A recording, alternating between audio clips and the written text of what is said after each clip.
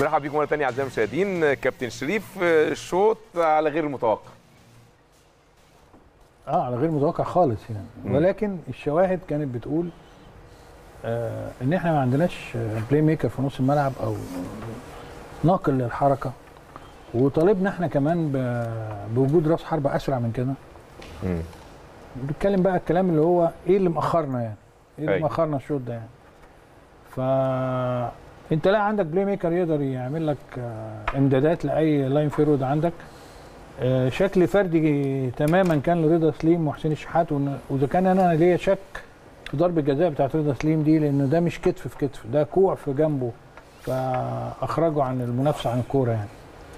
ال- النهارده مروان وأحمد نبيل كوكا وعمرو سولية مفيش سيمتريه خالص بينهم ولا توافق خالص حتى في وقفة الملعب. اللي ادهشني إن الأهلي هجم دقيقة وبعدين رجع لعب نص ملعب تاني لتحت. إزاي إحنا بنلعب هنا في مصر وكسبانين واحد وبنلعب بالأسلوب ده؟ يبقى في حاجة مش مخليانا نقدر نعمل أسلوب ال- الهجوم أو كويس. أسلوب ال- الضغط على الخصم. طب إحنا ما عندناش أسلوب ضغط على الخصم نعمل إيه؟ استحواذ.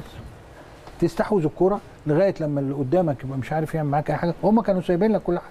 لغاية ما لاقوك بتديهم الفرصة إن يكونوا متواجدين عندك في النص الثاني يعني من ملعبك. إيه اللي يحصل؟ إنك أنت تفضل تمسك الكورة على شكل جوارديولا أسامة. تك تك تك تك. الفرقة اللي قدامك تبقى آه، مش عارفة فيه. وواحد يجري زي رضا سليم يقطع كره أمامية ويمكن حسين الشحات كمان فتت الباص يبقى كويس أوي. اللي إحنا كسبنا منه إنها هناك اللي هي بتاعت محمد هاني اللي طلع ضرب الخط كله وراح لعبها بالعرض وحصلت تكملة. إحنا ما شفناش ولا كورة. يمكن غير كوره واحدة في في المباراة كلها لينا إحنا على أرضنا.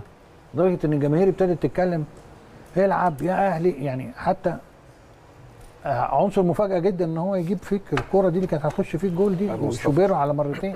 يعني- يعني أنت لا بتراقب لا عندك أسلوب مراقبة ولا بتسلم وتستلم بسرعة وتعمل نقل عددي في الناحية الثانية من فرقة سيمبا.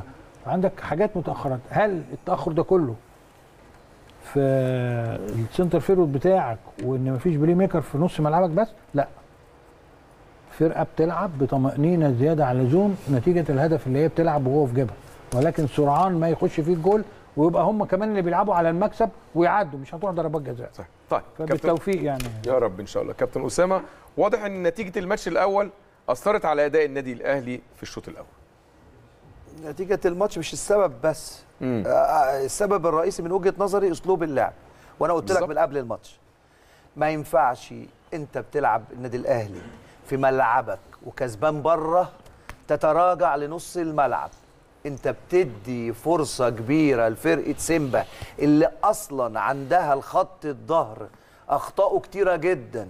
وأي ضغط عليهم بتلخبطهم أنت بترجع لعيبة النادي الأهلي لنص ملعبك فبيتنقلوا الكرة بسهولة جدا وبيوصلوا هم لنص ملعبنا بسهولة جدا وابتدي الخطورة وابتدي القلق. ده أول سبب أنا شايفه رئيسي في الحالة اللي إحنا فيها. إنك أنت زي ما كابتن شريف قال دلوقتي أنت في أول دقيقتين مجرد رضا سليم ما راح ضغط على الب... على الديفنس كان هيعمل ضربة جزاء. وبعدين ترجع لنص الملعب بتديهم فرصة يبتدوا الهجمة براحتهم. يسيطروا يستحوذوا براحتهم من من الخط الخلفي لنص الملعب للأمام.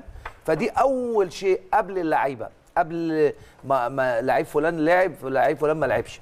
تاني حاجة أنت بتلعب بالأسلوب ده بتلاعب موديست مع احترامي الكبير بترجعه لنص ملعبنا وال وال وتحت نص ملعبنا وبعدين عايز يرتد مسافة 60 70 ياردة عشان يعمل sprint ويعمل هجمة مرتدة سريعة.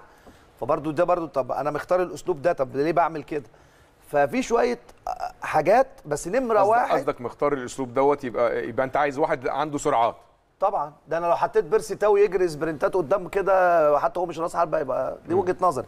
لكن أنا بتكلم في إيه؟ إنك نمرة واحد تغير طريقة اللعب قصدي أسلوب اللعب أيوة. لازم تنزل الفرقة دي تحطها جوه ال 18 وتضغط على ال defense عشان يغلطوا في ملعبهم وتبقى قريب إنك تجيب جون ماشي. لكن طول ما أنت بتطول وبترجع لورا أنا بقول لك كل ما الوقت هيمر الخطورة وهي صفر صفر هتبقى عليك أنت أكتر والخوف هيبقى عليك أنت أكتر صحيح. الحمد لله مصطفى شوبير أنقذ آه، كرة من هدف محقق أنقذ كرة من هدف محقق فنتمنى إن شاء الله الشوط الثاني إن شاء الله. نشوف تغييرة آه، سواء في نص الملعب أو في الخط الأمامي وأسلوب الضغط يبقى من القدام كابتن عادل الأخطاء اللي وقع فيها ال- النادي الأهلي الشوط الأول ويجب تداركها الشوط الثاني خلينا نتكلم يمكن الكباتن اتكلموا على في كل النقاط اللي اتكلموا فيها مش هكررها ولكن خلينا أكلمك على التحسين عاوز تحسن ويجب. إنك تحسن لازم تغير ثلاث تغييرات ببداية الشوط لازم تغير رضا سليم بتاو لازم تغير مدة كهربا لازم تغير آه كمان في نص الملعب آه قفشة مكان آه عمرو السولية. إن أردت إن يبقى عندك حيوية وإن أردت إنك أنت تعدي الناحية الثانية طريقة اللعب غير طريقة اللعب بالافراد دي تقدر أنت تاخد الكرة الناحية الثانية كابتن بلال رأيك في الشوط الأول والشوط الثاني يا سلام.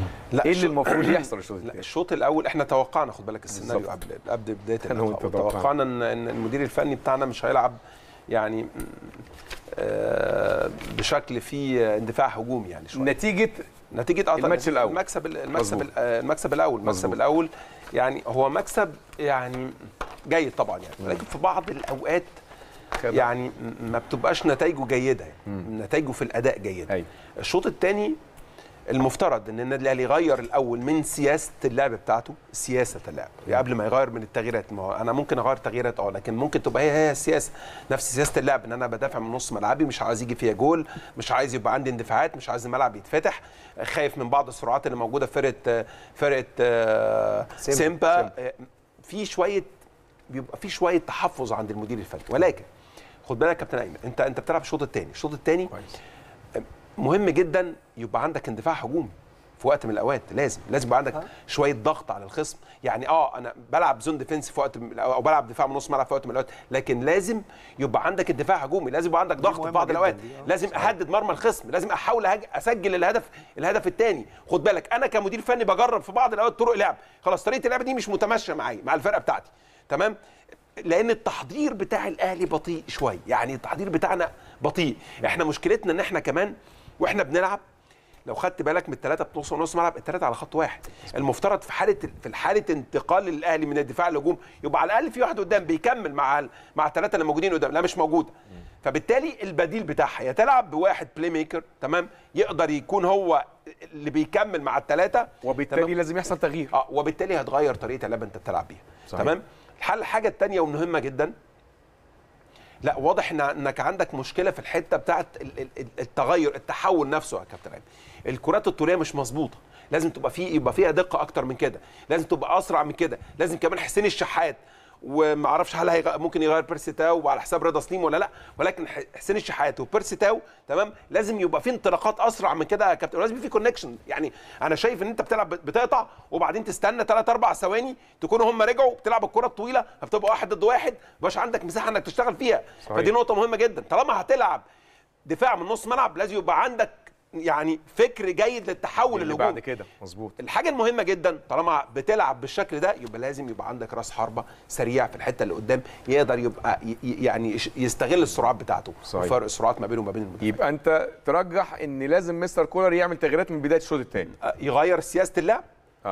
ويغير في ال- في اللعيبة أنا مع سياسة بلال أنا مع سياسة بلال اللعب. سياسة مهم. اللعب الأول إنه يضغط من قدام عشان يغلط المدافعين لأن هم دفاعين سهلين. أنت مديهم مساحة إن ينقلوا براحتهم في نص ملعبهم فاخدوا ثقة مع الوقت. أنا سياسة- آسف بس يا سياسة كابتن. اللعب عن طريق يعني آسف بس. إحنا إحنا إحنا قلنا إيه قبل الماتش يا كابتن معلش. قلنا إن هم بيتميزوا في إنك بينقل بينقل ويتحرك. لو ضغطت عليه ما اديتوش فرصة إنه بلال ي- بس بعدم استعجال. ما مش ما بنتكلمش على استعجال يا كابتن. بنتكلم إنك بتدي له فرصة يعمل اللي هو عايزه. آه. هو. بيشتغل زي ما هو عايز هو بيعمل صحيح. بيحضر بيحضر بيحضر بيحضر وبعدين يخلق مساحة بالتوازن. يشتغل فيها فأنت لو ضغطت عليه ما اديتوش فرصة يحضر صح. خلاص بالتالي أنت عشان اعمل كل ده لغيت كل أسلوب التغيير خلاص إن شاء الله مطالب في اول. إن شاء الله كل التوفيق إن شاء الله للنادي الأهلي الشوط الثاني تحقيق الفوز